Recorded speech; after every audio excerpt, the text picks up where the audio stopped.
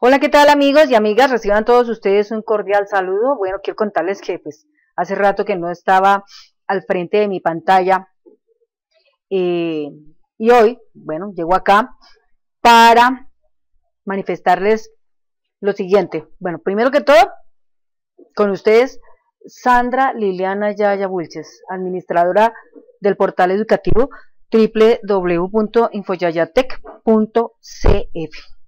Como siempre, bueno, aquí les vengo a contar que estamos adelantando este proyecto de veterinarias.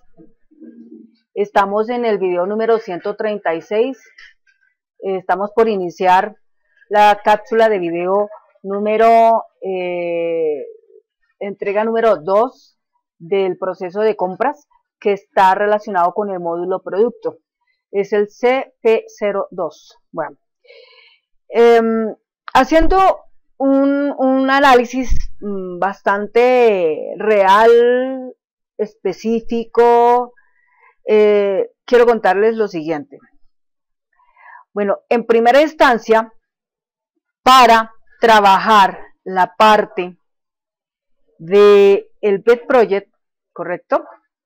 Del BED Project, vamos a requerir de los siguientes elementos que serán necesarios para el proceso de compras, ¿sí? El proceso de compras.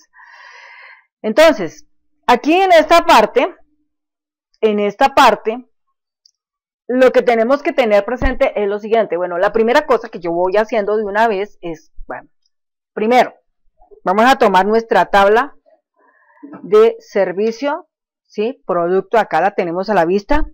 T, servicios, producto, clic derecho, vista, diseño. Bueno, esta es la estructura de nuestra tabla actual. Nuestra, nuestra tabla actual contiene a nivel del producto su respectivo ID. Cuando nosotros vamos a hacer la compra, será necesario que dentro de nuestra tabla de servicio producto tengamos presente agregar unos nuevos campos que en el orden son los que vamos a utilizar para poder manejar el diseño de la compra y el diseño de la venta. El diseño de la compra y de la venta tendrá que recurrir a que se debe exponer, se deben ubicar dos tablas iniciales, que son tablas donde vamos a almacenar toda la etapa de la compra y en otra toda la etapa de la venta. Como tal, cuando nosotros estamos trabajando la compra, por los productos que estamos trabajando, tenemos que contar con un campo que vamos a ponerle aquí un nombre, va a ser el saldo inicial, ¿sí? O sea, un S2, vamos a ponerle así, S2 eh, y NIM, ¿sí? Que representa el saldo inicial. ¿El saldo inicial de qué? De los productos que se van comprando. Entonces, ahí vamos a establecer un número, ¿correcto? Un número. Y asimismo, también tenemos que contar que vamos a incluir unos ítems que son los ítems comprados, entonces vamos a poner acá ítem cedo, que representa la palabra comprado, y ese ítem cedo, ¿sí? ahí va a ir también un número, ¿correcto? Asimismo, también ahí mismo vamos a tener un ítem BDO, que significa ítem vendido, y ahí vamos a poner un número. Y en última instancia vamos a poner un ESDO, un ESDO, en este caso fin, que ahí es donde vamos a ubicar la contabilización del stock. Es decir, que aquí lo que vamos a hacer es lo siguiente. Vamos a almacenar en la compra de producto el número, entonces inicialmente el ESDO INI está en 0. Cuando hacemos la compra, digamos tenemos 100, entonces hay 100, 0 más 100. Y en vendidos, si no tenemos nada, 0. Entonces el ESDO fin estará generando el resultado de esa operación. O sea, saldo inicial más compras menos venta y el saldo final. Entonces, para que estos datos permanentemente estén siendo actualizados, deben generarse en descargas. Las descargas son los, los datos que se van a contener, se van a incluir en las tablas donde una tabla será la tabla que relaciona la compra como la principal, ¿no es cierto? Eso implica que tendremos que tener un número de orden compra con su respectiva fecha. con el ID del producto, con el total de los productos que se están comprando, una cantidad total por lo general, un valor, vamos a también a asumir también un valor que es el IVA y también otro que vamos a asumir es el de la retención en la fuente y otro que vamos a asumir es la diferencia, ¿correcto? Por el lado de la compra, pero la compra tendrá su respectivo detalle.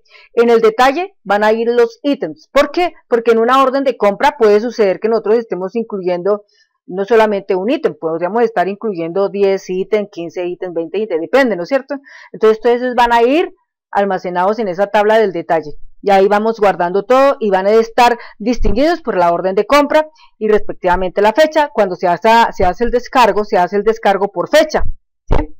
De esta manera se limpia esa tabla, luego la del detalle se limpia eh, porque igual cuando se limpie, pues esa tabla no va a quedar con datos ahí mm, existentes, porque se entiende que lo que va a hacer es hacer un cruce, va a ir pasando allá respectivamente a esta tabla madre y ahí vamos actualizando para ir generando la contabilización de todo lo que se va comprando. ¿Sí me explico? O sea, vamos manejando el saldo así. Y en la misma situación va lo de la venta. La venta también va a tener una, una tablita donde damos todos los detalles generales de la venta y eso también representa el número de la venta. Entonces la venta ya en este caso es la factura, eh, la fecha y la cuenta de los ítems que se están vendiendo. Bueno, y otros detallitos que más adelante los estaré contando. Y por el otro lado habrá una tablita extra que es la del detalle. ¿Detalle de qué? De la venta. Igualmente, cuando los datos se están comprando, se están vendiendo, hay que sacar una impresión de cada uno de ellos, ya bien sea por papel o ya bien sea por correo tanto para la compra como para la venta. Bueno, eso era lo que yo les quería comentar en este video número 136. Bueno, espero que con esto, entonces ya después estaremos prosiguiendo en más cositas que vayamos requiriendo y a la medida en que vamos avanzando irán saliendo cosas y ustedes igualmente irán estando conmigo a par para que cualquier cosa que vamos haciendo de una vez va saliendo. Si no entienden, por favor, me van a contar todo esto por medio de nuestro medio de comunicación que es el correo electrónico. Entonces, ya saben, eh, van a llegar a la, a la web docencial www.infoyayate.cf, allá ustedes comentan su solicitud o, la inquietud que tengan en ese momento y de inmediato, en el momento que yo tenga oportuno, rápidamente les contestaré y les daré una inmediata respuesta sobre lo que ustedes me estén preguntando. Muchas gracias, voy a cerrar acá esto, lo voy a guardar y espero pronto poderlos atender en el próximo video, el número 137 cierro acá. Muchas gracias, que tengan un bonito día y eh, espero que disfruten este hermoso día colmado de prosperidad, abundancia y de mucha bendición. Con ustedes, Sandra Liliana Yaya Wilches. Hasta pronto.